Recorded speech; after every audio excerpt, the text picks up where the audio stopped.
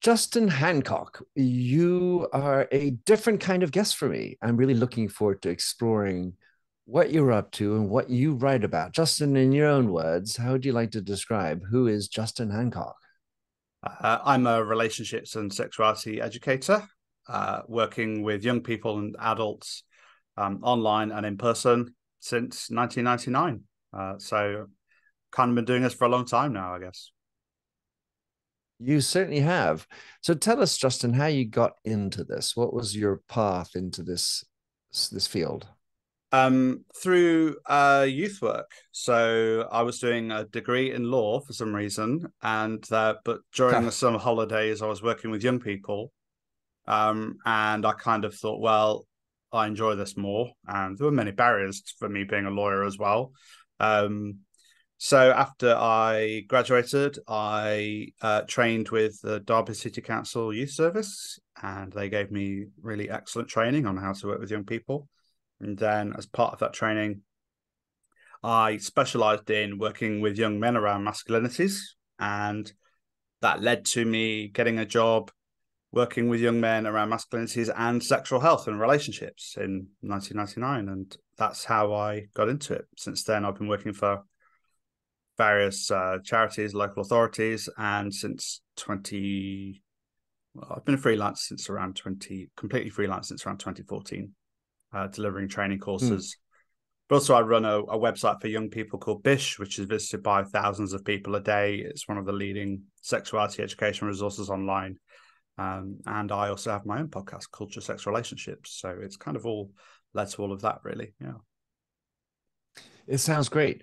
Um, being trained as a lawyer, how has that informed or changed the way you've dealt with things? I mean, I assume you you have some kind of fidelity towards what you did in law and how much that eh, makes you think about the small print and everything um yeah not really yeah i mean um yeah I, did a law degree so i'm not trained as a lawyer but i suppose what i think what degrees do and what any education does is to is to teach you to think and to teach you to learn i think that's the thing that i took away from it i think there's some interesting stuff there about intentionality and uh, mens rea in the criminal law and things like that, which I think I've definitely kind of taken with me. Um, and causation is really kind of interesting. Kind of, I was mainly interested in the criminal law, which sadly is only a very small part of a law degree. Everything else I found really dull. Sadly, sorry to anyone who's a legal scholar who's listening who really really enjoys it, but um, yeah, it hasn't really been super relevant apart from when I write and talk about the law and sexuality, which can be very complex and very tricky. And there's a huge difference between the law itself, but also how the law is implemented and how, uh, for example, Crown prosecution service guidelines differ to the actual written law about things like Sexual Offences Act 2003. But yeah, apart from that, it's not really equipped me for a career in sexuality education.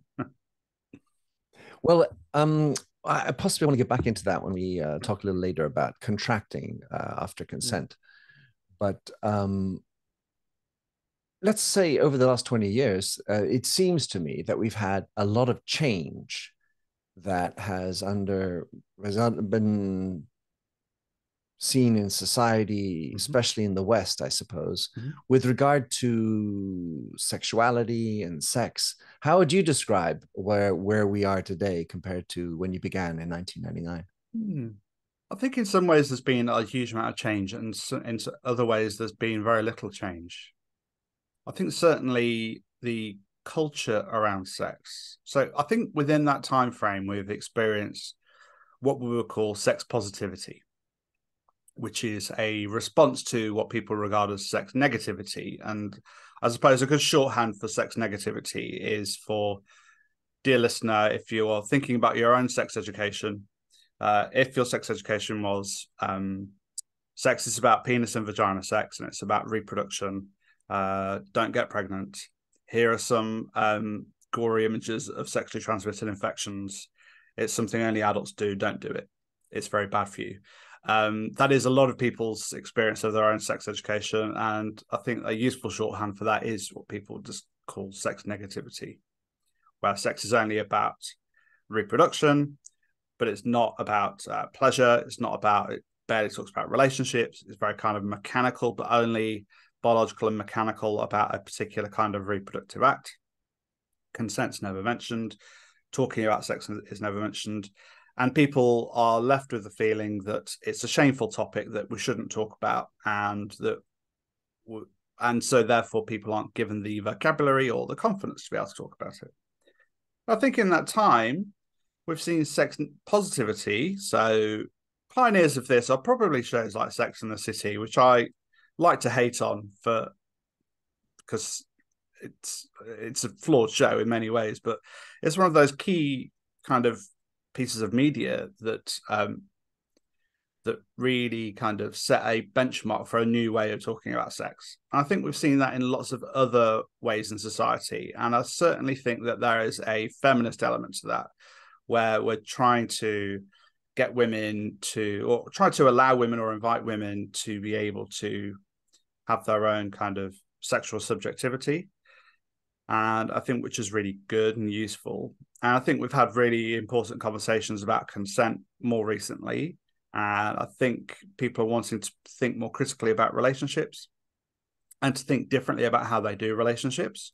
I think that's certainly been the case over the last 20 years. But the things that haven't really changed, I think, are we still have this very strong like heteronormativity, this uh, expectation uh, of the um, that you'll have that you'll be heterosexual. Um, I think that is changing, but we still have it. And I think we have a lot of norm- normativities as well about what really what what counts as real sex, and um, still very very strong uh, social sexual scripts that people find very tricky to navigate still. And because of our lacking sex education, people still often find very tricky to talk about and um, and there's a lot of shame and stigma around talking about it. So I think we still have that too. So there's a long way to go. I still certainly have a lot of work to do, along with uh, everyone else working in this field. I can only imagine. Um, but let's. What about from the? You, you typically tend to work with younger, but I mean, you obviously work with older as well. But the, the in the younger field, I have two children, 26 and 24. Hmm. So I, I've sort of gone through the younger period. Um, they're now sort of full-fledged young adults. Hmm. Over the years, how have you seen the discussions you've held with 14 to let's say 18 year olds? Hmm. How how has that changed? Well, one I was talking about this the other day with somebody, so it's it's fresh on my mind. So I've worked a lot with young men over the years, and 20 or so years ago, it would be quite common for me to hear from young men, um, I don't care whether she's enjoying it, as long as I'm enjoying it, that's all that really matters. Um, and now I never hear that. I'm much more like to hear, Justin, how can I make her come? How can I last longer? How can I have better stamina in bed? And how can I be better at it? And I think they're both problematic because they are kind of they're still both kind of um, centering the the the man's experience. So the man is the subject and the woman is the other. Uh, but I think it's a different kind of subjectivity that they are wanting to do this thing of giving an orgasm to the woman as if that's something that kind of belongs to the guy. But I think that that is a so it's still problematic, but I think it is a big shift. And I think that speaks to the sex positivity that I was talking about earlier, that there is this kind of a greater acceptance and a greater um, expectation and pressure uh, for people to experience pleasurable orgasmic sex. And I think that people find it very difficult to navigate both of those things. And I think the, the approach that I try to take, which is the one that I took with my co-author of my uh, first book, Enjoy Sex, How, and If You Want to. Um, my co-author was uh, Meg-John Barker.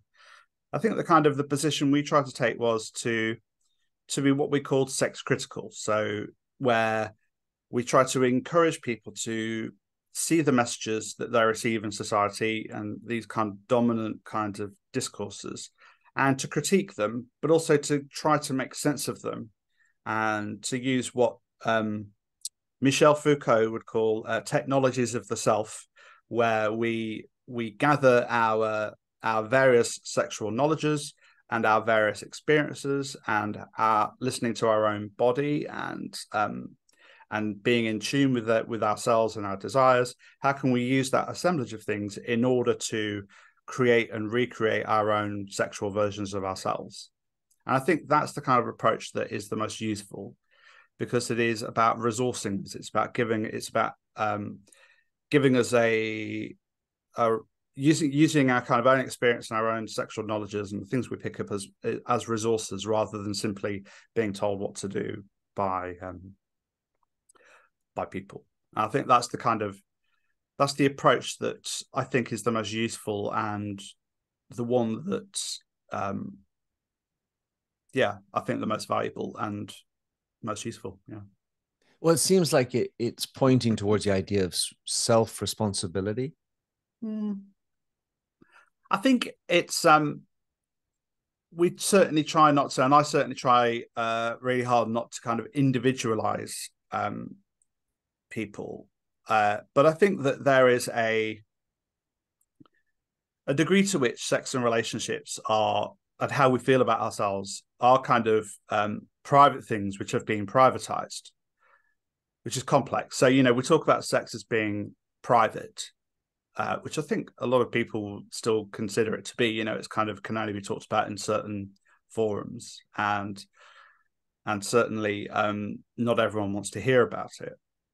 But then that there is also, in addition to that, it's been kind of privatized by the the messages we receive in society about sex. So if we're told when we're when we're younger that sex is shameful, shouldn't really talk about it, and any sex education we receive leaves us feeling awkward, uncomfortable, and shocked, um, then that further privatizes it, which means that it does become it does end up being this kind of individual kind of uh, like tussle, this kind of uh, this kind of solo quest to discover our own sexuality.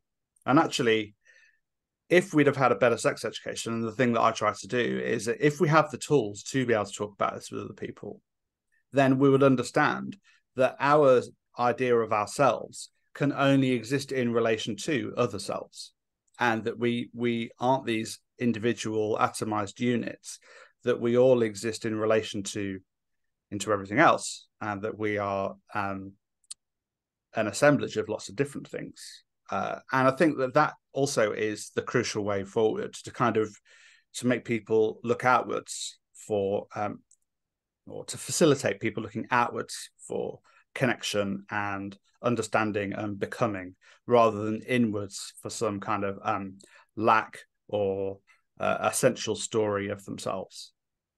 Hmm. Interesting.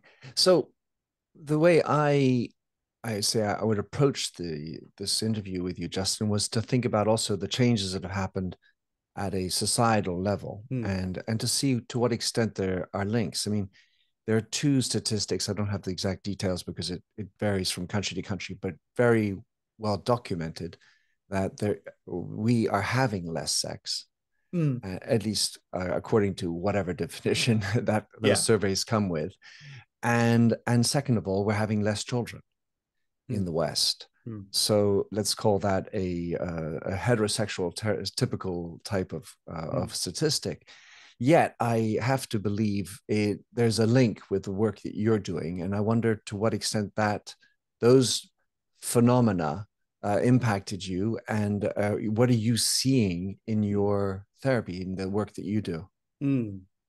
yeah I, I, should just just uh, i don't do therapy just as a disclaimer though uh, folks so i can't right. go around calling myself a therapist but i'm an educator but um um yeah there are a couple of really interesting questions i think that on the, the first point about people having less sex the the study I get my go-to study about this in the UK is the NatSal study, yeah. which is a huge academic study which is done every 10 years.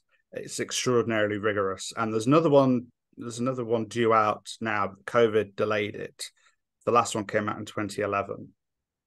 And it's usually done every 10 years. There have been three iterations of it, and we're all very excited about uh, Natsal 4. Come on, Natsal 4. Mm-hmm. Yeah. Um, and but with that study, they were finding that people were having less penis and vagina sex, uh, but they were possibly having more different kinds of sex. That kind of it did seem like there was some evidence that there was a broader repertoire of sexual activity. So perhaps people are having uh, less sex, but more sex that they want, more intentional sex, more sex for sex of sex sake, more sex for pleasure, but also um, perhaps people by not having sex or having a better time. you know, there's a, a, a lot of sex can be really bad, and particularly if it's if we're just following a sexual script, doing it because we think we owe it to to our partners, you know.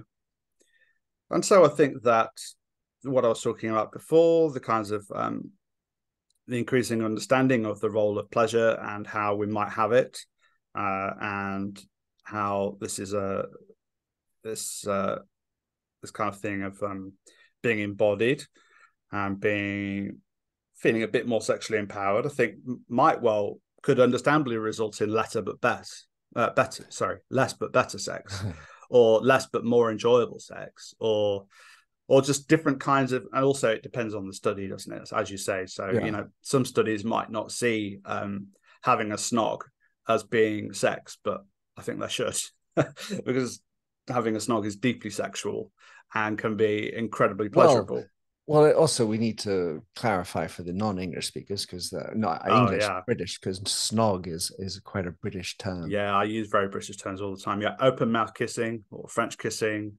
Um, yeah, yeah. In French, I think it's called galoche. but we ironically call it French kissing as well. So yeah, um, it, yeah, yeah. So the idea of of less but better. Um, I also have other things which are in my wheelhouse, which I typically look at, mm. which is the vast increases of anxiety, declared anxiety, and hmm. depression, mm. specifically among the younger generations. Mm. So I can't equate with that a uh, an uptick in happiness or mm. in better mental health. And I wondered to what extent the the issues around sex have played a role in this uh, increase of anxiety and depression? Mm. Well, I think there are a lot of things that are connected here. I think that if people have anxiety and depression, that can it often means that they are less likely to be able to enjoy sex. Um, but I don't. But also, if it, it's about kind of cart before the horse. So sometimes if people are less able to enjoy sex, that might also have an effect on their mental health too. So I'm not trying to draw any kind of dry, direct lines of causation or anything like that. But I think generally, if we're talking about anxiety and depression, I think we also have to kind of consider the material impacts um, that are actually that have happened, and not to sound like a, a, a, a you know the uh, the left wing uh, nerd that I am, but the life is harder for a lot of people, particularly young people, and particularly during COVID. Uh, you know, COVID really heightened a lot of pre-existing um, mental health problems, uh, and so I think that we, you know, looking at you know so I was talking about the Derby City Council Youth Service the other day, uh, the other day, uh, earlier on in our conversation where I received my training, and you know they had youth clubs and projects all over the city, including the specialist health, uh, specialist youth work team, people like me who would go in and do stuff around sexual health and relationships, but also other kinds of specialist kind of education as well. None of that exists anymore in the same way, and that's true for a lot of places around the country. That the the the the lack of things for young people to do outside of school is really quite stark. And so, if there are fewer places for young people to spend time with each other face to face, making connections and you know socializing, and also being able to access support and resources from each other, but also people like youth workers, then that is going to have a knock on effect on people's mental health. But also, the lack of space generally for young people. I think you know so many areas in geographic areas have been kind of privatized, places where young people can just kind of hang out are much more heavily monitored and controlled. And so I think that plus the pull of mobile phones and the internet and laptops has kind of has shrunk a lot of young people's lives, I think, in ways which certainly I think are part of the assemblage that we need to talk about when we're talking about mental health and young people. I also do think that there is something here about the discourses of anxiety and depression being sometimes unhelpfully um, talked about in in ways where where instead of thinking about what might we do to feel better about our mental health and to feel better and what are the kinds of ways in which we can um, connect with others that might kind of be really good. I think that when we sometimes, when more broadly we're using the the terminology of diagnosis, then I think that sometimes it mean it leads people to kind of holding on to the diagnosis rather than thinking about what a diagnosis might do.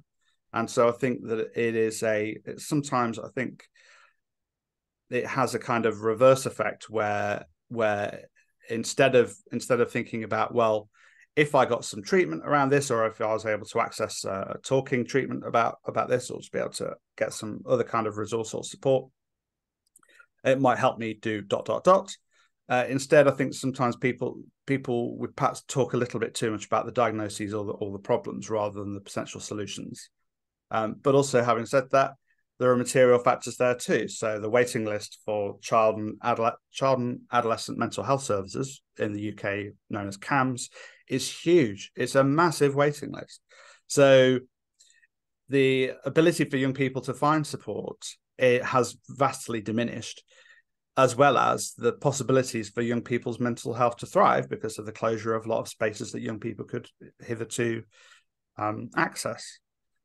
So I think all of that is kind of involved. And of course, you know, I guess it's harder for people to to connect if they yeah, if they're only if the only space where they can connect with other young people is in school, college, university, I mean less so with university, but school or college, then it only gives you a, a very quite a small window in your day where there is the possibility for making friendships, um, uh, experiencing chemistry with people, um, flirting with people, and or you know just kind of you know the the everyday business of um, what I call at my website, uh, my uh, quoting from the Professor Barbara Fredrickson, uh, psychologist working in the US, micro moments of positivity resonance. So micro moments of positivity resonance are those things that happen on a daily basis where have a glimpse of a bit of eye contact with someone or a little something makes us smile or kind of have a little buzzy feeling from like an interaction with someone at a shop or going someone with a dog and you know stroke their dog and say hello to the owner or you know those kinds of everyday kinds of things. If we reduce the the possibilities for micro moments of positivity resonance which other people call falling in love but i like to call micro moments of positivity resonance then we are reducing the possibilities for people to become and to emerge and but also sorry i'm ranting. The the other thing about um, school is and and college is that young people are under so much pressure to get grades to become this ideal uh, neoliberal subject who is you know very successful at school and can get a job um, in a marketplace and to you know to do a university course which is going to be really good for their career. There is so much pressure on young people to not fail. And I think that a lot of playfulness and a lot of the potential for soft skills and a lot of the potential for connection has been stripped out of young people's lives in ways which no one asked for and in ways which we don't fully understand how detrimental they've been.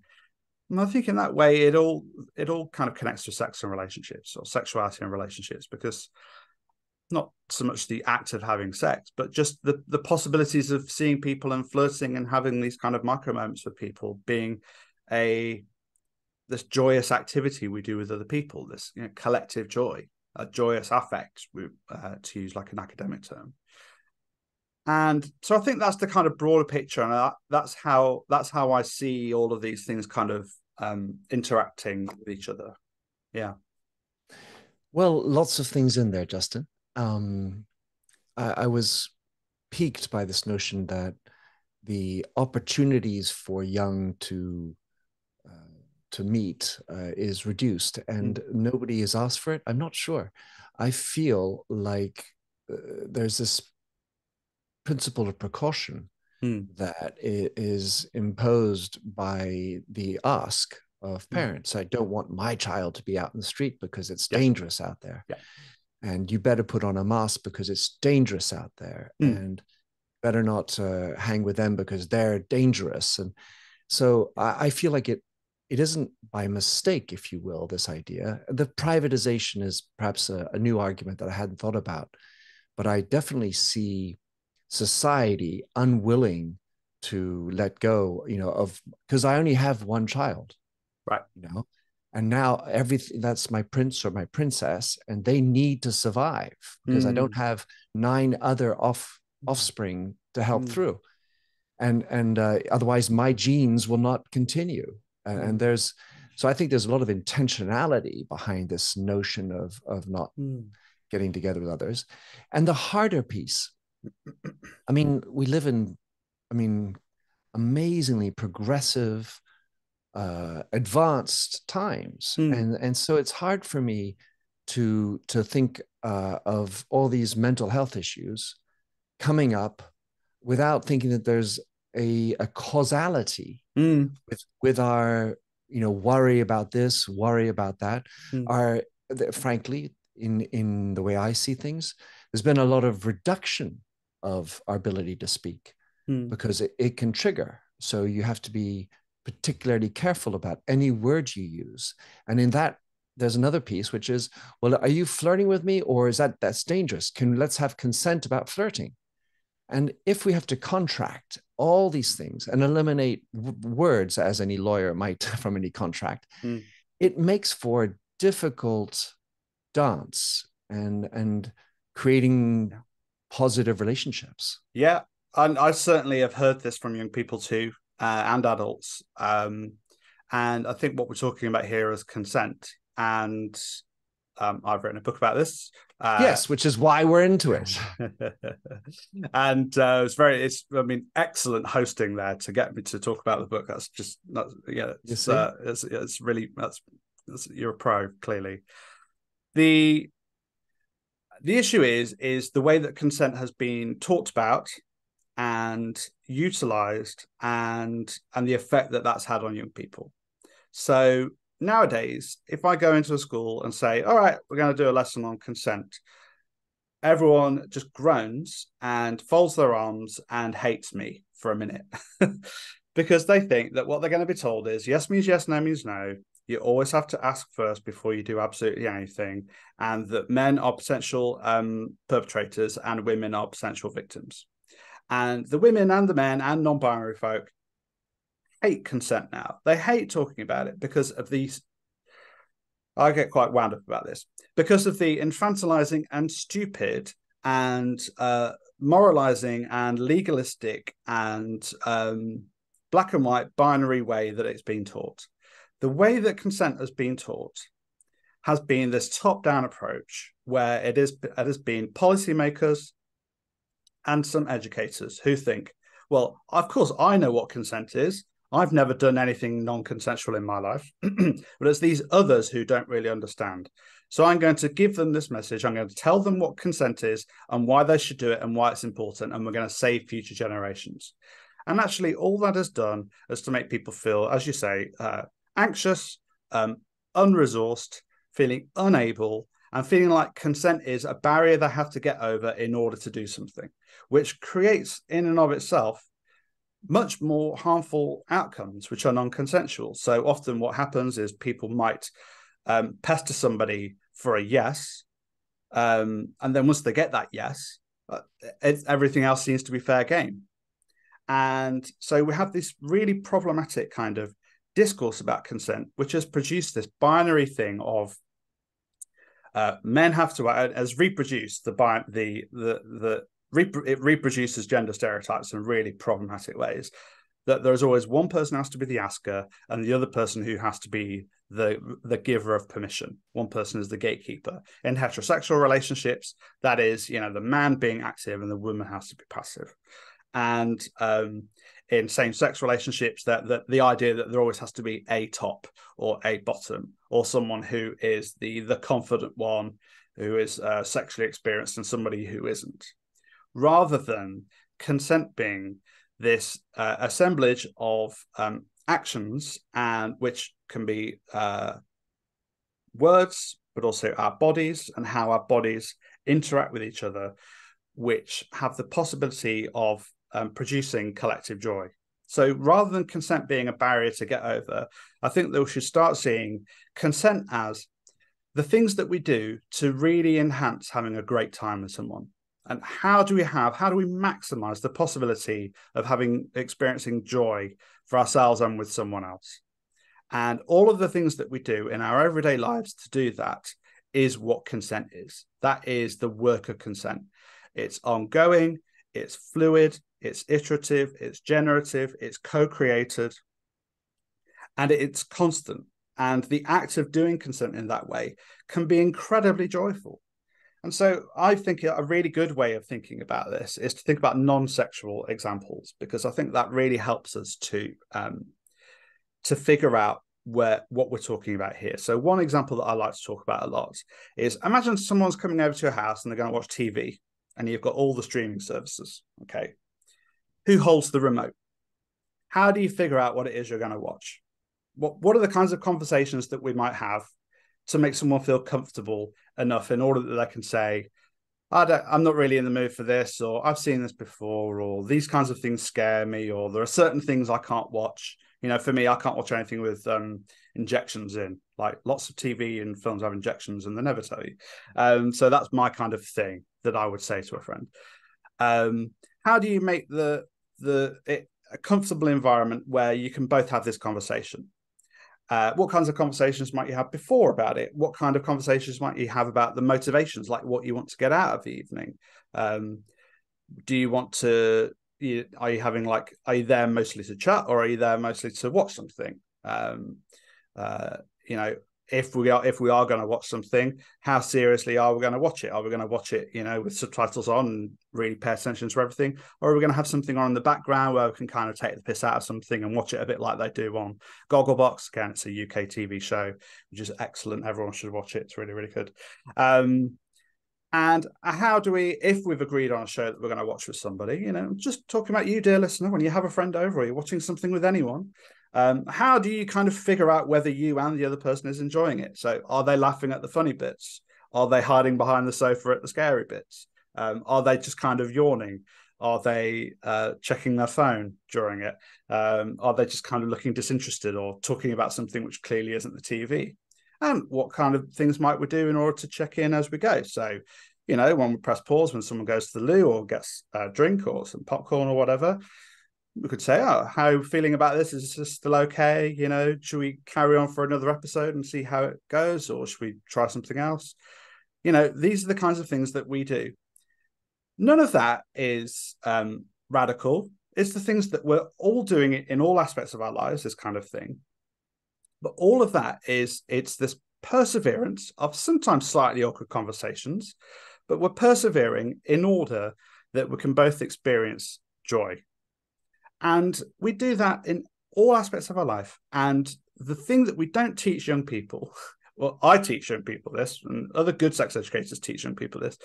We think that somehow, when it comes to sex, sexual consent, we have to say yes means yes, no means no, get everyone's agreement before you do something, and then and then you can just kind of do it. And no other aspects of our lives do we do this, apart from things like contractual things. So saying, um, clicking the uh, yes, I accept all your cookies on a website, or clicking yes, I understand the terms and conditions of this thing, which no, no one ever reads the terms and conditions. Boring. Uh, yeah, quite.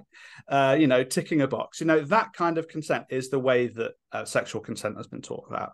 And so it's no wonder that because young people um, have been taught about consent in that very narrow legalistic terms and conditions, tick a box contract kind of way, that they're all pissed off about it and don't feel like it can help them. And really, what consent does is facilitates a really great time. And if we all talked about consent in that way, then I think we'd actually just have a better time in our life. There'd be more joy. There'd be more possibilities for collective joy. I just genuinely believe that. Yeah.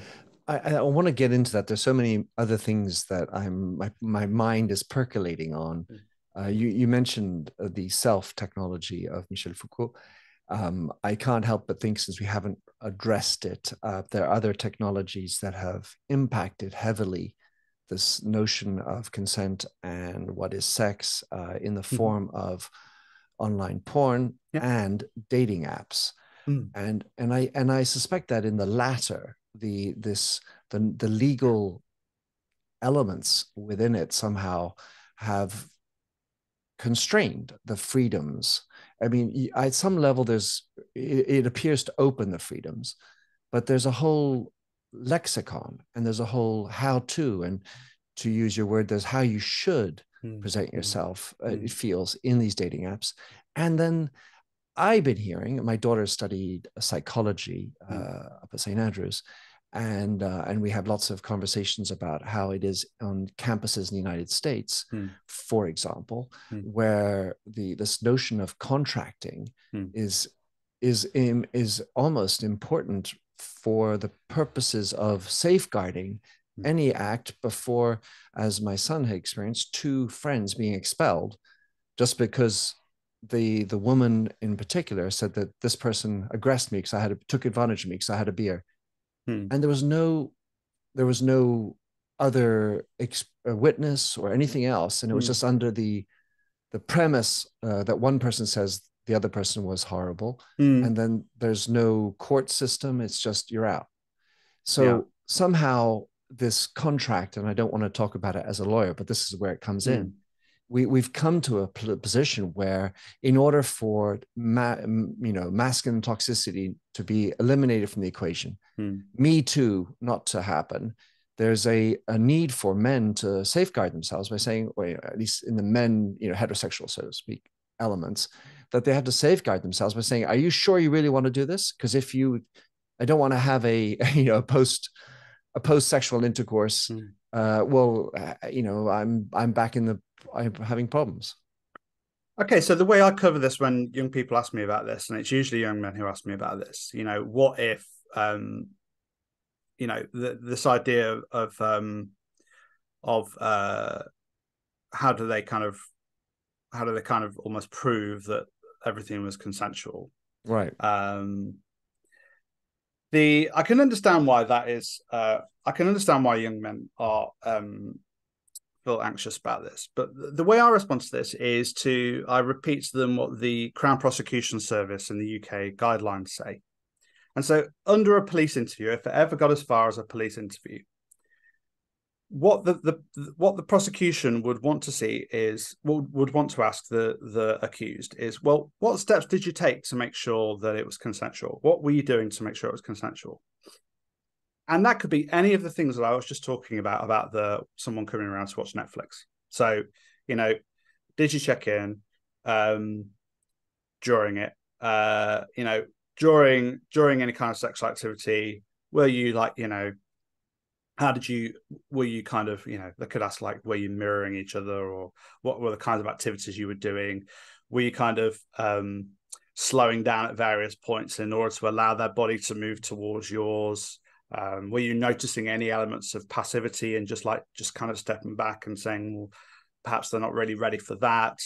Um, if they had been drinking, you know, are you checking in about how how far they kind of want to go and and and and but all of these things aren't necessarily verbal that we use our bodies to do this too and that we're picking up on everything that is happening in that moment the vibe the atmosphere the you know what been said before what had been leading up to this what happened afterwards the nature of the relationship. And but also it's it's very uncommon for um for for these allegations to be false. Like sometimes these allegations aren't proven but it's very uncommon for these allegations to be false. And you know convictions for rape and prosecutions for rape in the UK are incredibly low for lots and lots of different reasons. And um I think the criminal justice system is and and criminal justice models, uh, the kind of legalistic models uh, around consent, uh, don't serve um, survivors and victims very well at all. And we've, I think, we've learned very little about justice um, from uh, during our kind of, I don't want to say post Me Too because we're still in Me Too. So in the e- Me Too era, I think we've learned very little about consent and um, and justice and accountability and and um, gendered violence. And I certainly think that these kind of narrow um, legalistic models that I've been talking about have not only not helped but made it worse. And I think that this is where we need to pay attention to this thing that I've been talking about, which is the consent as it actually exists rather than the consent we talk about. And that is about talking about the things that we do to make sure everyone's having a good time. And these are kind of micro communications that we can all just start paying attention to in all aspects of our lives. And then when we pay attention to them in all aspects of our lives, we can help them to come to life when during sexual or intimate encounters too. Um, but uh, certainly, yeah, as I've been saying, I think that when it comes to sex, we sometimes teach, you know, we teach this kind of uh, this kind of uh, very different model of consent, which I think is just really not helping people at all. So I want to end, Justin, talking about this notion of consent in a workplace environment. Hmm. Um, I think it's a, it's an interesting way to explore interesting conversation, and the the context I wanted to draw out, which uh, I I know is featured in uh, your last book, about consent, mm. which is this notion of greetings and mm. and the hugs. So I worked at a company back in the 1990s, uh, so and the early 2000s, mm-hmm. where we had as a culture a a notion of hugging, right? Uh, but not just any old hug, a, a long embrace. Gosh. Where so this is pre Me Too, right? Mm. And uh, so and this was men to men, women to women, and men to women. And it was a, we called it the Redken hug. Right. And this hug was uh, literally five, seven seconds, sort of thing. Wow. And and the idea behind it was, well, this is how we are. Hmm. Uh, you, you, kind of we we set it up front. This is sort of part of our culture. Hmm. And and if you're not comfortable with it, then then that's okay. You're just wow. not good. We're not part of. We're not the hug. Isn't the the thing you're in or out on. Hmm. But we had a whole set of codes about how we discuss, how we operate, how we hmm. behave, the words we use when we were discussing, for example, the hair, because this is what we were talking about in particular. Yeah. And bear in mind that this is the hairdressing industry. Hmm. Uh, today this is completely untenable you hmm. wouldn't you'd, you'd get laughed off the street or screamed out yeah and then so then i was i've talked to a few of my ex-colleagues about this notion of where the hug is in hmm. society mm. post covid and all that mm. but let's in in a in, let's just help us out with this idea of let's consent on some cultural activity mm. that is we feel is part of ours and it could also be if i'm korean about the Korean way mm-hmm. or the Russian way where they kiss on the lips, you know, right. men kiss on lips. Um, or the French way where mm. you come in and, and men handshake and the women and men and women and women all give two kisses on the cheeks. Yeah, or three or four, depending right. on the different part of France you're in, which and, is confusing. Then, or or the three and a half, you know, where yeah. you, you you don't know. Oh shit! Oh, got got the lips right. this time. So talk about how does one go about in a business environment talking or using the consent, let's say, avenue to bring yeah. Well, um, thank you again for teeing me up. Um, if you run a business out there, folks, and you want me to come in and do a workshop with you, um, we'll happily do that. Get in touch. Um, yeah. So I've been teaching about consent via teaching about how to have a really great consensual greeting.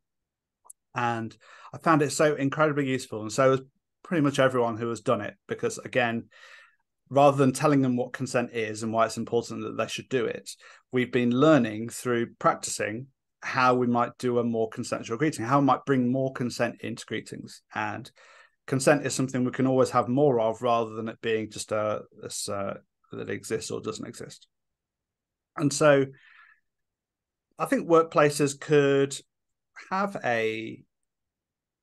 I think the issue is it's about what you were talking about there with hugs is is literally creating a an organizational culture which makes people do things that they might not necessarily want to do. And it almost kind of sets a they're written a script for exactly what it is that they should do. And i know a lot of people who really really hate hugs who find hugs incredibly difficult and so i know a lot of people who if they're working in that workplace might not have wanted to work there for very long if they had the option because they would have found those hugs really hard you know, really, really hard. And so, first and foremost, organizations need to think are we writing our own scripts? Are we telling our own, are we creating should stories that aren't good for the business necessarily and are bad for the employees? And it's just kind of like a lose lose all round. Are we, um, in some ways, restricting people's autonomy and people's capacity for uh, uh, for collective joy, as much joy as you can have in a workplace, um, by having these kinds of um, by having these kinds of cultures. Like one culture around this, which I'm hoping this has changed, is you know, bear in mind also, uh, I've been a freelance sex educator for many years. I, even when I was not freelance, I we didn't have an office basically. So um, I've it's been a many many years since I worked in an office, but I know people who do still. And you know, the after work drinks culture thing is is another one that could be looked at. Or, you know, because you know, it's often, you know, if that's where key decisions are made and where key relationships are made, then who does that exclude? And who does that who is, you know, which identities are getting privileged in that respect. But in terms of greetings, uh, I think that what we could do is just to before we have a greeting, before we see someone, just to slow it down a little bit, just like a second or two, and just pay attention to what it is that what kind of greeting they might want. If they've got their hands in their pockets and they just want to do a nod, then maybe you could just step back and just don't go in their personal space, but maybe just give them a little nod, or maybe and hopefully they might do that to you too. Um, if you're going in with your, your with two hands. So one hand at kind of like 10 o'clock and the other hand at like four o'clock, kind of, and you're doing a bit of a lean, looking like you're going for a hug. And the other person is kind of nodding and they're they're 10 and four o'clock too. And then that means a hug is on the cards. And if you're gonna have a hug, can you pay attention to how firm you both want that hug to be during the hug? Can you kind of notice what kind of hug you're having?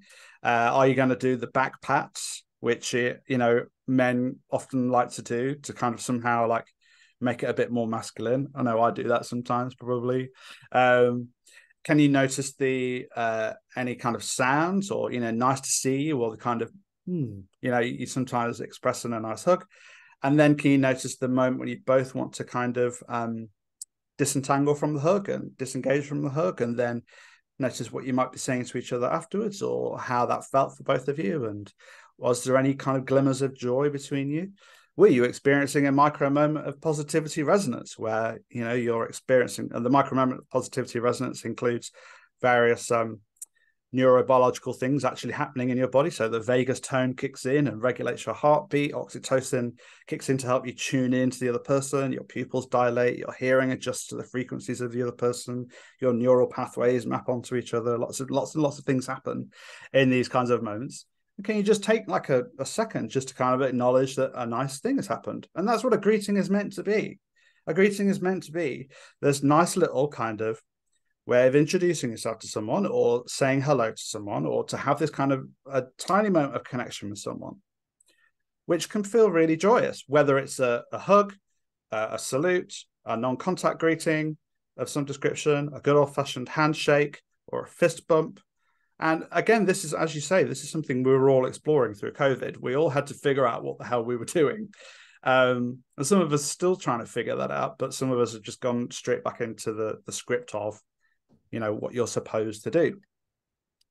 And so we just think that, you know, if we are going to encourage people to go back into workplaces, which I, you know, I'm like, I'm all for flexible working and people working in offices if they want to. But surely one of the benefits of being in the office is having people around and having this possibility of these you just little moments of joy throughout your day from just interacting with other humans face to face. I'm not saying it's necessarily flirtatious or or in any way, you know, intimate or sexual, but just, you know, the joy of a, you know, a colleague or a shared joke or, you know, uh, a kind of a, a smile across the office, you know, sometimes obviously sometimes I fantasize about what it might be like for me to be in an office because I just work entirely by myself. And I sometimes think it might be quite nice just to, you know, you know, have this like this buzz of energy that from all of these little connected, you know, interactions. And so I think for managers, the and for and for for anyone in in, in charge of like policy and and trying to create a, a great office culture, I think that's the thing to really pay attention to is that how can we how can we facilitate these kinds of things? And how can we rather than enforcing a culture of everyone hugs can we instead just say oh let's just take a minute and let's all just practice and and try to tune into the moment and be in the moment rather than going ahead and doing the scripted thing because if we have this strong idea of a script and we're paying more attention to the script than we are the person, then we're not really maximizing the possibility for consent and we're not maximizing the possibility for joy. And I think that would make a really much nicer office environment. Hmm. Well, lots to unpack within that, but we time is is of the essence, Justin. The uh, the for me the the way I I'm an older guy and and um, I didn't go into the military, but I've lived in many countries hmm. and and I, I see the greeting as a not just not not a moment of joy.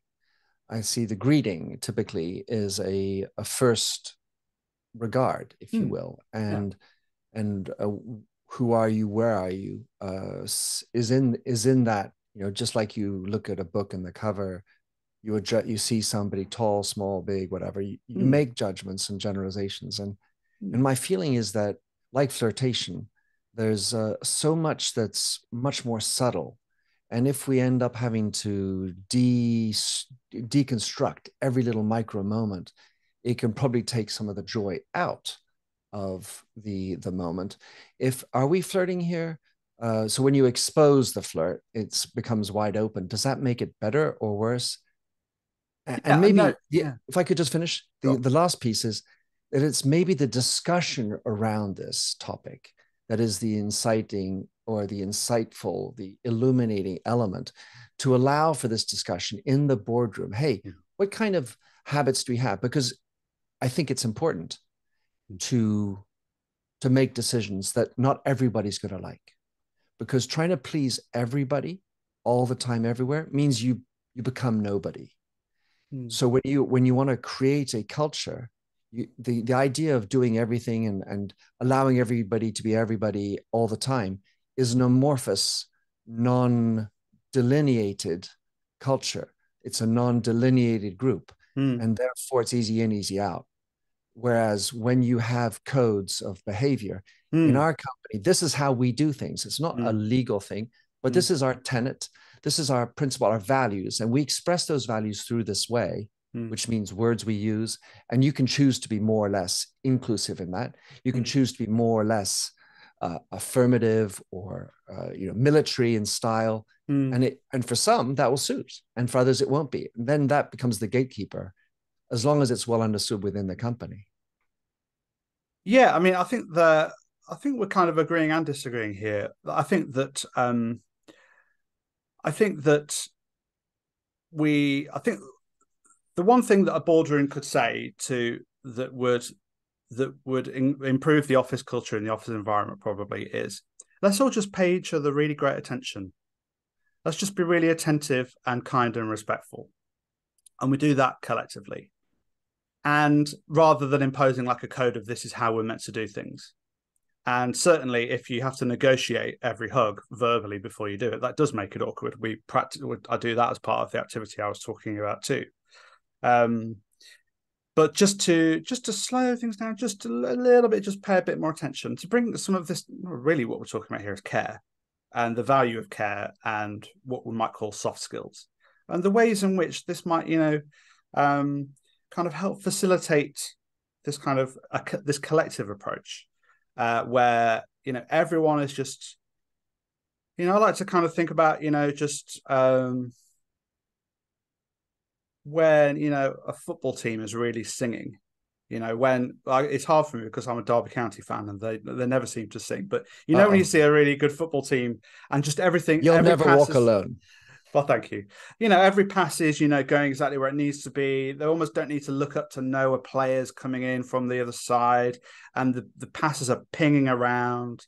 Uh, like Spain versus England, sadly, in the final of the Uh-oh. Women's World Cup. Yeah. You know, everything, you know, and they're kind of on song. And it is a little bit like, I think that what I'm talking about here is about the possible. What? How do we get that? How do we be in tune with each other and in tune collectively? And I think we do that through these tiny little micro moments of paying attention.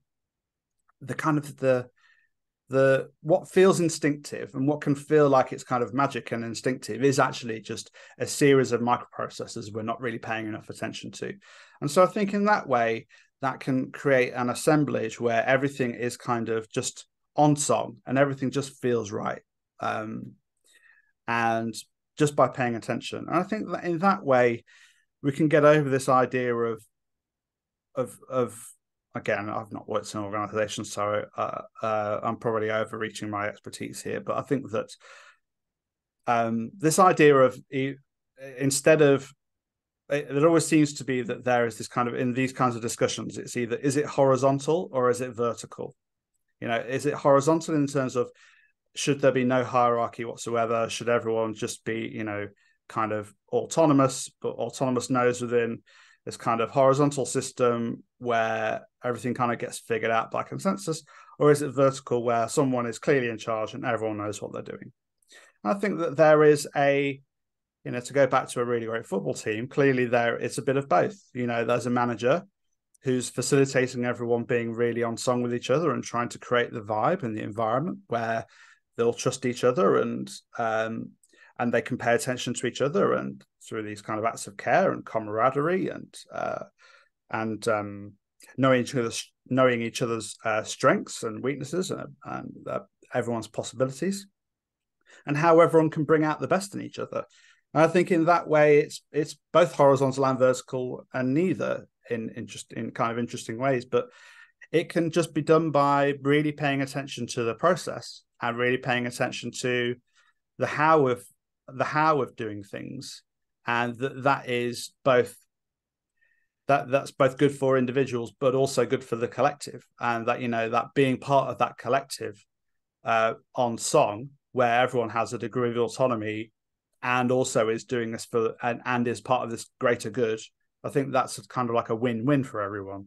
Hmm. i think that's what a lot of people i guess in organizations try to achieve you know that's like the magic kind of element. And i think that um the, the way to achieve it is through is through this paying attention to to um to culture and the kinds of things that we can get everyone to do to be to be more attentive and to be in the moment and in tune with each other and also to to know how to put down boundaries somehow uh, it, it feels like a we could open a whole nother chapter about talking about spiral dynamics because what you were talking about feels very much like the interplay between me we and everybody mm. so there's me the the individual there's we this collective and hmm. everybody mm. is everybody and and there's a there's a need to define things within that because if you're trying to be the horizontal we love everybody we take anybody. Mm. well good luck with that. Hmm. and uh, what is we? Well we is some small group. Uh, is it big enough? Is it small enough? And hmm. and what what is we? And how do you yeah. define we? In and, and I and I reference or I love to talk about Zamyatin's book We in this particular regard. Anyway, Justin, we could surely, and I love the fact that we end on a disagree and an agree piece. Um, great to have you on the show. How can people track you down, uh, understand, f- read up about you, and hire you, maybe, or you, or buy your books? Yeah, um, crucially, what the best ways? Yeah, yeah. I think just go to my website, justinhancock.co.uk and of course there's bish and and uh, i'll put as many little other links to your books and stuff in the show notes. Thank you very much for coming on the show again. Thanks for having me